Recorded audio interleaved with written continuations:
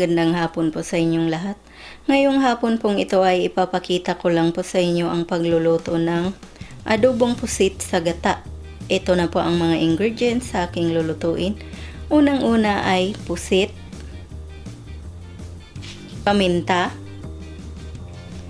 basil leaves,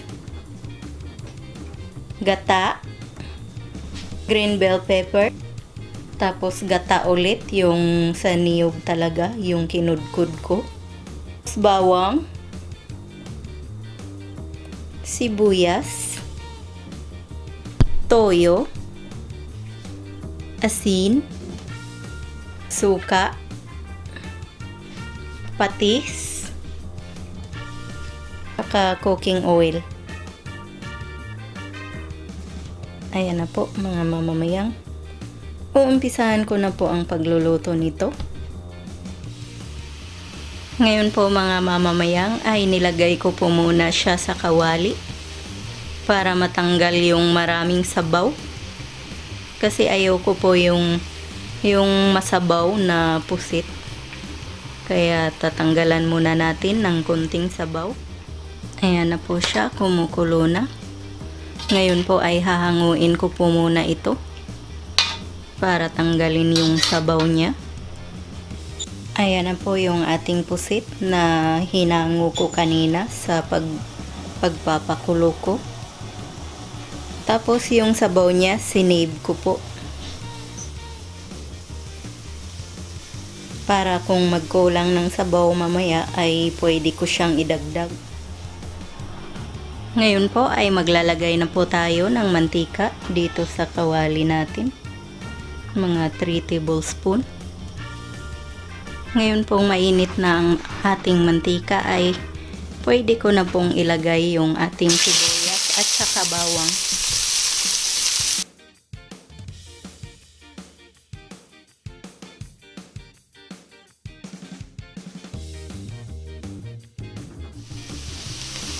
Ngayon naman po ay maglalagay po tayo ng konting toyo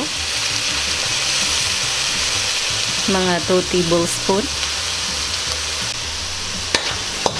Tapos hahaluin lang po natin ng hahaluin ito.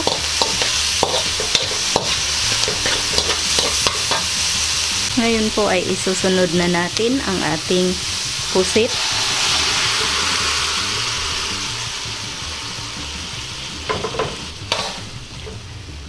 Masabaw talaga tong pusit na to kahit tinanggalan ko na po siya ng sabaw kanina. Pero okay lang po yan. Patutuyuin na lang po natin.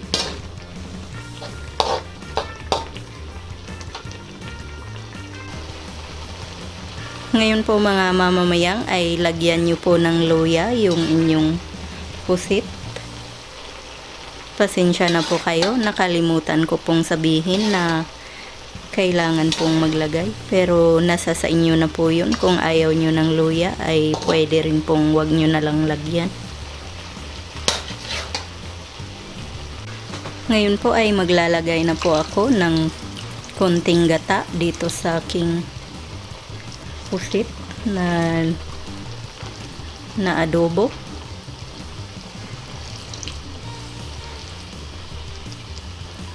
Mga ganyan po karami.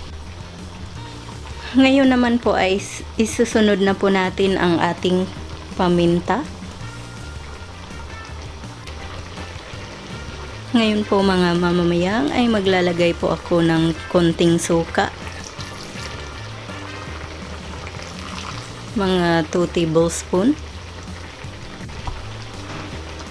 Ngayon naman po ay maglalagay ako ng patis.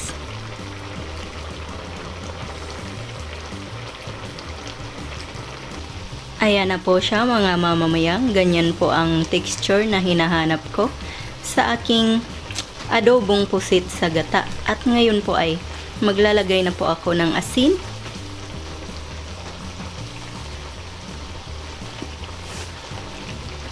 Yan po. Mga 1 teaspoon na asin or titikman-tikman nyo na lang po para makuha nyo yung lasa na gusto nyo.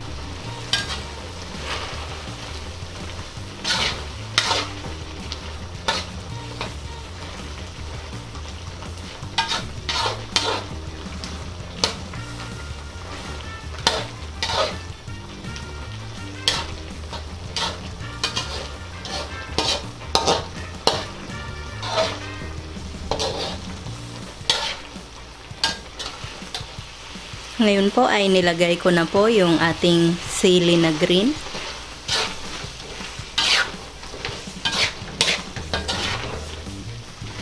Tapos hahaluin lang po natin ng hahaluin ito.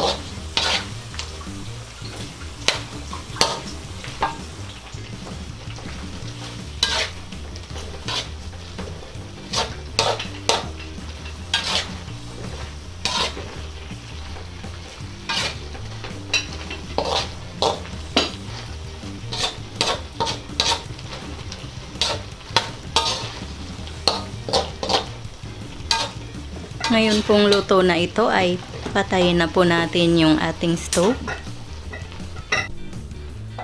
Tapos, pwede na po nating ilagay ang ating basil leaves sa taas. At hahaluin nyo lang po para maluto siya.